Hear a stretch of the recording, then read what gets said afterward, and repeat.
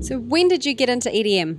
So as a child, I actually lived in France. Uh, that was when Daft Punk was on the radio. So that's when I started getting into dance music and seeing what it was all about. And that's where I really solidified my love for dance music. Now, how would you describe your sets?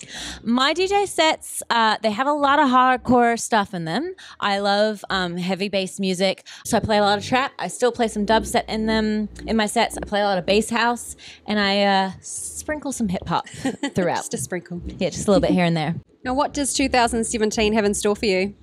So I am leaving New Zealand uh, and moving to Los Angeles. Uh, planning on continuing with music, uh, with DJing and music production, and uh, hopefully on to big things. Cool. Thank you for your time. Oh, thank you so much. I'm Marina Katerina, and this is Push Play TV.